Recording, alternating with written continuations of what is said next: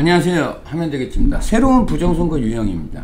윤석열 표를 줄여버리는 조작을 발견했습니다. 보수 강세인 지역에서 이런 현상이 나타납니다. 투표소 영상에서 투표 영, 투표소 영상을 확보해서 투표 인원을 숫자로 하나하나씩 다 세봤습니다.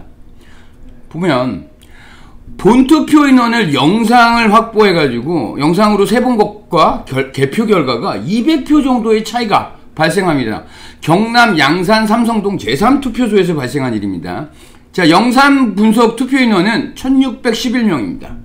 근데 개표 결과가 1402명으로 나타나서 219표 정도가 줄어든 것으로 나타났습니다. 예, 투표소 영상은 이 본 영상 첫 댓글에 링크를 하겠습니다. 여러분들이 한번 보시고요. 투표소에서 투표용지를 수령해가는 사람의 다리를 셌습니다. 밑에 보면 신발이 나와요. 예, 이거를 세본 결과 구독자분들이 시간대별로 나눠서 수를 센 결과입니다. 예, 도합 1611명.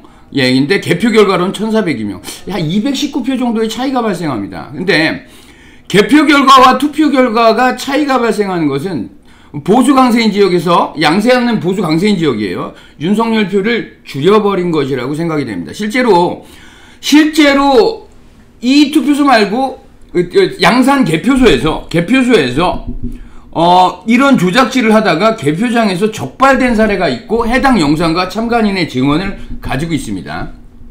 어떻게 조작을 했냐? 어, 처음에 개표 상황표를 집계할 때 이 이재명이 804표, 윤석열이 1381표였습니다. 그런데 이걸 개수기를 통과하니까 개표 상황표를 수정해버렸습니다. 이재명 806표, 윤석열 1285표. 그러니까 윤석열 표를 약 100, 100 표를 줄여버린 겁니다. 약 100여 표 정도를 줄여버린 겁니다. 그래서 참관인이 이걸 보고 이의를 제기했어. 아니 말이 되는 얘기를 해라. 처음부터 다시 돌리게 됩니다. 처음부터 다시 돌리니까 이재명이 816표, 윤, 윤석열이 1403표로 118표가 늘어나 버렸습니다. 그래서 이걸로 최종이 확정이 됐어요. 여기는 걸려가지고 이렇게 적발이 돼서 수정이 됐지만 안 걸린 것은 어떻게 됐을까요? 넘어가 버렸겠죠. 예, 참관인의 감시를 피하기 위해서 전자개표기에서 일부를 줄이고요. 개수 과정에서 일부를 줄인 겁니다. 그래서 도합 118표를 줄이다가 그 참관인이 적발해낸 상황입니다. 어, 참관인이 항의해서 적발하는 과정은 별도의 영상으로 올리도록 하겠습니다. 우리는 여태껏 민주당 표를 늘리는 방식의 조작만 생각해 왔는데 보수 강세인 지역에서는 우파 후보의 표를 줄여버리는 조작도 실행이 된다는 것을 알아야 합니다. 그래서 결국 가장 중요한 것은 수단과 방법을 가리지 않고 투표 인원이 들어가는 영상을 확보하는 것이 가장 중요합니다. 그리고 실제로 참관인이 참관인이 어떠한 일이 발견됐을 때 영상을 촬영하는 것은 합법입니다. 그러니까 얘네들이 CCTV를 가려버린다. 투표소의 CCTV를 가려버린다는 것이 그 일이 발생한 것이라고 저는 생각이 됩니다.